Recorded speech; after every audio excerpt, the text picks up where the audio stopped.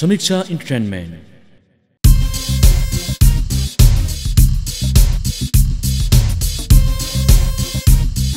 हामी अन्तर्राष्ट्रिय स्तरमा हुने वर्ल्ड डिबेट च्याम्पियनसिपको फर्मेट अमेरिकन पार्लियामेन्ट्री फर्मेटलाई हामी नेपालमा पहिलोपल्ट इन्ट्रोड्युस गर्दैछौँ र हाम्रै आफ्नै ठाउँ चितवनबाट इन्ट्रोड्युस गर्दैछौँ। यस कार्यक्रम आयोजना गरेको छ नेपाल डायरिज काठमाडौँबाट साथै एसोसिएट गरेको छ हामीलाई एकाडेमी अफ कमर्स काठमाडौँबाट र पावर स्पोन्सर गरेको छ मेयर एजुकेसन कन्सल्टेन्सी काठमाडौँ।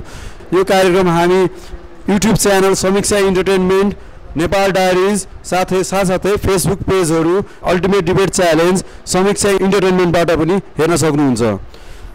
हामीलाई अफिसियली साथ दिएको छ आवाज टेलिभिजनले। हाम्रो मुख्य कार्यक्रम जुन असोज अट्ठाइस गते उद्योगवाडी सङ्घ नारायणगढमा हुन्छ त्यो कार्यक्रमको छायाङ्कन तथा ब्रोडकास्टिङ आवाज टेलिभिजनबाट हुन्छ। आवाज टेलिभिजनको भर्खरै मार्केटमा एप पनि आएको छ। हामी मोबाइल फोनबाट पनि हेर्न सक्छौँ। त्यस्तै गरेर अरू हामीलाई अफिसियली साथ दिनुभएको छ कायकरण राष्ट्रिय दैनिक सिए सरोकार डट कम अफिसियल मिडिया छ हाम्रो। त्यस्तै गरेर हाम्रो अरू अफिसियलहरू छन् Artha Sarokar dot com royal capture photography जहाँ तपाईँहरूले आफ्नो घरमा हुने कुनै पनि कार्यक्रम स्कुलमा विद्यालयमा हुने कार्यक्रमहरू फोटोग्राफी भिडियोग्राफी गर्नलाई बनाउन सक्नुहुन्छ। त्यस्तै गरेर अर्को हामीसँग स अफिसियल छ समीक्षा इन्टरटेनमेन्ट हामीले तपाईँहरूले यहाँ पनि सम्पर्क गर्न सक्नुहुन्छ कुनै पनि फोटोग्राफी भिडियोग्राफीलाई साथसाथै top restaurant bar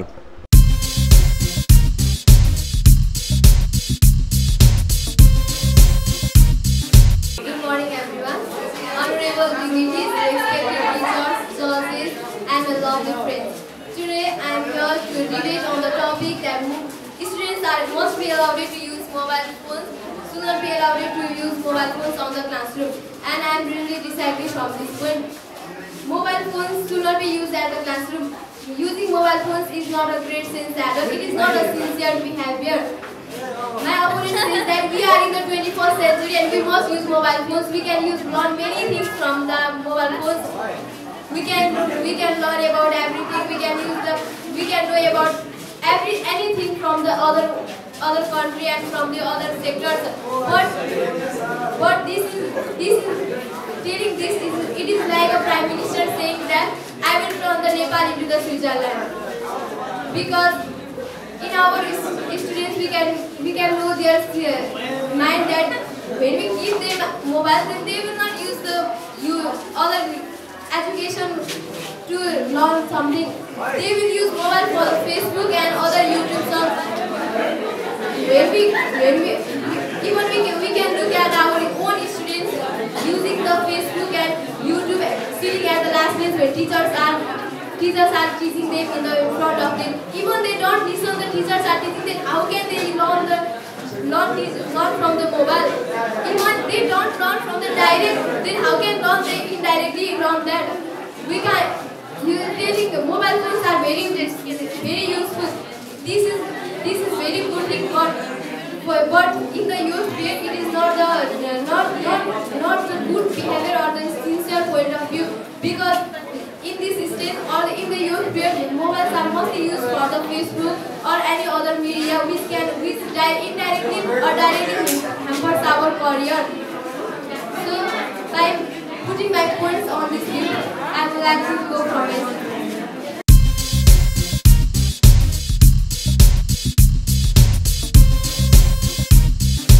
सर्वप्रथम त म आफ्नो विषयवस्तुतिर जान चाहेँ।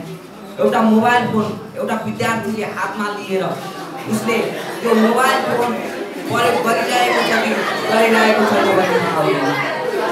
उसले शिक्षकले एकातिर एउटा देखाइरहेको छ र आफूले एकातिर फेसबुक युट्युब चलाइरहेको हुन्छ। यो विद्यार्थीको बानी विद्यार्थीले जे शिक्षकले भन्नुभएको छ त्यही गर्नुपर्छ। र विद्यार्थीहरूले मोबाइल पाए एउटा मोबाइल पाए आफ्नो रङ्गमा आफ्नो हर्षमा आफ्नो मनोरञ्जन गर्न चाहन्छ। उसले कुनै पनि चिज सिक्न चाहँदैन। यो नै मोबाइलको एउटा दुरुपयोग हो। हेर्नुहोस् आज हेर्नुहोस् हाम्रो देश किन विकसित भएन भन्दा त्यही कारण अमेरिकामा हेर्नुहोस् कुनै पनि चिज कुनै पनि चिज प्रत्यक्ष देखाएर वा प्रयोग गराएर गराइन्छ। हाम्रो देशमा एउटा चिज भोकाएर एउटा चिजलाई त्यही देखाएर भोकाएर अनि एउटा इक्जामको पेपरमा लेखाएर गराइन्छ यो सरासर गलत हो। हेर्नु कुनै पनि चिज देखाएर कुनै पनि चिज देखाएर कुनै पनि चिज अ, को प्रयोग गराएर गर्नु गर्नु पर्यो भने त्यो मान्छेले छिटो सम्झन्छ। तर त्यसो हो- छैन। मानिसले कुनै पनि विषयवस्तुमा केन्द्रित हुँदैन अहिले हेर्नुहोस् विश्वमा यत्र टेक्नोलोजीहरू उत्पादन भएको छ। कसैलाई पनि एउटा विद्यार्थीहरू भएर आफूलाई त्यो विश्वमा भएको टेक्नोलोजी के के छ भनेर विद्यार्थीहरूलाई केही चासो छैन। यो नै मोबाइल भयो मोबाइल भनेको एउटा मनोरञ्जन र उसमा मात्र होइन। मनोरञ्जन र एन्टरटेनमेन्टमा सीमित रहेर होइन। उसले कुनै पनि त्यो मोबाइलबाट के फाइदा गर्यो के के फाइदा गर्यो त्यो जान्नुपर्छ र अहिले हाम्रो देशमा मोबाइलबाट बेफाइदा नै बेफाइदा यो नै विद्यार्थीहरू र मानिसहरूले दुरुपयोग गरेर मोबाइलको दुरुपयोग गरेर। यो गर्न र एउटा र म विपक्षी विपक्षतिर जानु उहाँले भन्नुभयो मोबाइलबाट छिटो बुझ्न सकिन्छ। हेर्नुहोस् मोबाइलबाट छिटो बुझ्न त सकिन्छ तर मोबाइललाई चलाउने एउटा साधन चाहिन्छ वाइफाई।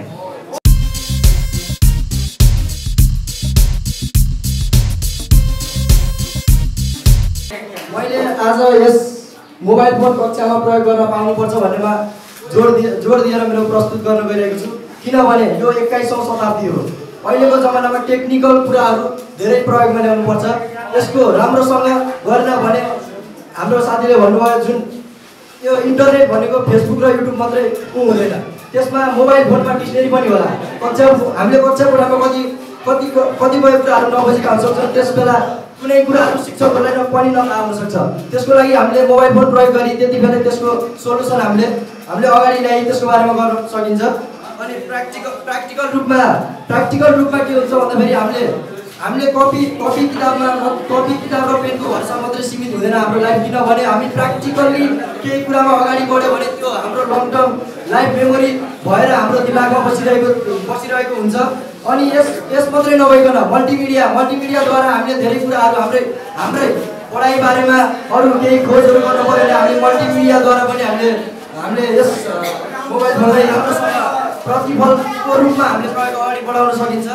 त्यति मात्रै नभइकन हामीले हाम्रो मोबाइल फोनमा धेरै कुराहरू हुन्छन्। हामीले जुन हामीले अहिले हामीले जुन भनिन्छ नि के हाम्रो अमेरिकाहरूमा बनाइएको कुराहरू एक्काइस वर्ष बिस वर्षपछि मात्रै हाम्रो नेपालमा द्याट इज न्यू फर्म भनेर हामीले प्रयोग गरिरहेका हुन्छौँ। त्यस्तो भइरहेको छ। त्यस्तो नहुनको लागि हामीले यही प्र्याक्टिकल्ली हाम्रो किनकि हामीले के हुन्छ भने हामीले मोबाइल चलाउँदाखेरि हाम्रो साथीले भने जस्तै फेसबुक मात्रै युट्युबमा त्यो गीतहरू सुन्ने मात्रै हामीले गरिँदैन। किनकि अमेरिकामा अहिले के भइरहेको छ? के को आविष्कार गर्दैछन् हाम्रो साइन्टिस्टहरूले? नासामा नासाबाट के कुराहरू पत्ता लगाइ पत्ता लगाइरहेको छ भन्ने कुरा नि हामीले यस मोबाइल फोनबाट मोबाइल फोनद्वारा नै हामीले यहाँ बसी कक्षा कोठामा बसेर थाहा पाउन सकिन्छ। यति मात्रै नभइकन हाम्रो पढाइहरू पढाइ मात्रै हामीले अहिले प्र्याक्टिकली लग्यो भने प्र्याक्टिकली लग लग्न सक्यो भने हामीले के भन्छ भन्दाखेरि हामीले लेख्ने र किताबमा रटाइ गरेको मात्रै पढाइलाई हामीले अहिले मान्यता गरिएको छैन। जता जाँदा पनि हामीले इन्टरभ्यू दिँदाखेरि हामीले लिएर भनिँदैन। अरूको अगाडि हामीले प्र्याक्टिकली लिनुपर्ने हुन्छ त्यसको विषयमा नि हामीले यसबाट बाहिरबाट कस्तो प्रस्तुति आएको छ र कसरी गर्न सकिन्छ भन्ने हामीले यो कुरामा सोल्युसन ल्याउन ल्याउन सकिन्छ। र अरू कुरा हाम्रो एक्काइसौँ शताब्दीमा बाँचिसकेकाले हामीले एउटा मोबाइल फोन कक्षा कोठामा सीमित गर्न हुन्न भन्ने कक्षा कोठामा प्रयोग गर्न पाउनु पाउनु हुँदैन भन्ने कुरा मलाई यो गलत लाग्यो। किनभने हाम्रो अहिले के छ भने कक्षा कोठामा हामीले प्र्याक्टिकल्ली लग्यो भने केही कुरा पछि गएर हामीले पछि गएर हामीले केही कुराको पछि हामीलाई सहयोग हुन्छ। प्र्याक्टिकल्ली जाँदाखेरि हाम्रो टर्म मेमोरी भएर बस्छ। यी कुराहरूलाई यही मेरो मेरो कुरा यही टुङ्गाउन चाहन्छु। धन्यवाद। अब हामी कार्यक्रम अन्त्य गर्न गइरहेका छौँ। त्योभन्दा अगाडि केही जानकारीहरू म तपाईँलाई फेरि तपाईँलाई यो चाहिँ फाइदाको लागि तपाईँ सबैजनालाई फाइदाको लागि जस्तै हामीसँग एसोसिएट स्पोन्सर हुनुहुन्छ एकाडेमी अफ कमर्स र पावर स्पोन्सर हुनुहुन्छ mayor education consultancy.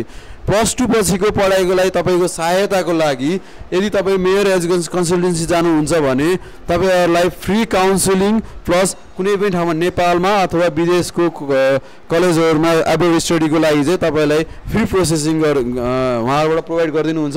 त्यस्तै गरेर दसैँ आउँदैछ सपिङ गर्नुपर्ने छ। डाइनामिक आउटफिटर्स नारायणगढ त्यस्तै गरेर the bar code the only fashion stores र बी ह्यान्सी टेलरिङ यो सबै ठाउँमा तपाईँहरूलाई up to fifty percent discount तपाईँको कलेज आई कार्ड देखाएपछि मात्रै। जुन कलेजहरूमा हामीले क्याम्पिङ गरेर जुन स्कुल कलेजहरूमा हामीले क्याम्पिङ गरिरहेको छौँ त्यो क्याम्प त्यहाँ मात्रै अप टु फिफ्टी पर्सेन्ट तपाईँको आई कार्डले पाउनुहुन्छ। तपाईँको त्यहाँ मैले जुन स्टोरको नामहरू भने the bar code the dynamic outfitter only fashion stores र बी ह्यान्सी टेलरिङ जहाँ तपाईँले आफ्नो युनिफर्म सिलाउन सक्नुहुन्छ दसैँभन्दा अगाडि तपाईँको आ कलेज स्कुलको आई कार्डले तपाईँले up to fifty percent discount claim गर्न सक्नुहुन्छ। त्यस्तै गरेर बाबा इलेक्ट्रिक नारायणगढ त्यहाँ तपाईँले इलेक्ट्रिक कुनै पनि सामानमा त्यहाँ पनि अप टु फोर्टी पर्सेन्ट तपाईँले क्लेम गर्न सक्नुहुन्छ डिस्काउन्ट फा म प्रोग्राम यही अन्त्य गर्न गइरहेको छु। अन्त्यमा जाने बेला मैले सुरुमा पनि भनेको थिएँ। मेरो र मेरो टिमको परिचय म अन्त्यमा दिनेछु। मेरो नाम विनेश थापा। यो कार्यक्रमको बारेमा कुनै पनि जानकारी लिन मन लाग्यो भने मलाई भाइबरमा मेसेज गर्न सक्नुहुन्छ मेरो नम्बर यहाँ लेखिएको छ nine eight four one zero double four five four two. त्यस्तै गरेर मेरो टिमको अर्को मेरो साथी मेरो डाइरेक्टर पनि हुनुहुन्छ Mohammad Asif Shah nine eight two one eight six three nine six zero. र हामी जुन टिमबाट आएको छौँ हाम्रो टिमको नाम हो नेपाल डायरिज। हामीलाई फेसबुकमा पनि फलो गर्न सक्नुहुन्छ।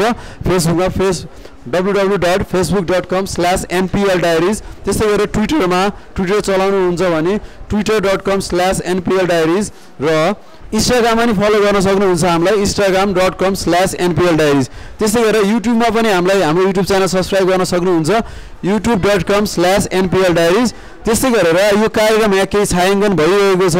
सबै यो छायाङ्कनहरूको दृश्य हेर्नको लागि कति साथीहरू अगाडि आएर बोल्नु भएको छ। अब आ मैले कस्तो बोलेँ त भनेर तपाईँ युट्युबमा हेर्न सक्नुहुन्छ। यो चाहिँ तपाईँले हेर्न सक्नुहुन्छ समीक्षा इन्टरटेनमेन्ट। त्यस्तै गरेर हाम्रो अल्टिमेट डिबेट च्यालेन्ज हाम्रो कार्यक्रम यो वाद विवादको बारेमा जानकारी लिन अपडेट लिनको लागि तपाईँले फेसबुकमा फलो गर्न सक्नुहुन्छ। Ultimate debate challenge W W dot Facebook dot कम। Ultimate slash ultimate debate challenge युएलटिआइएमएटिई डिइबिएटिई सिएचएलएलइएनजिई challenge त्यसै गरेर हामीसँग आवाज टेलिभिजनको एप पनि छ। एपमा पनि हेर्न सक्नुहुन्छ टेलिभिजन। अम, तिहार पछि असोज अठाइस गतेपछि कार्यक्रमको दृश्यहरू आवाज टेलिभिजनमा पनि हेर्न सक्नुहुन्छ।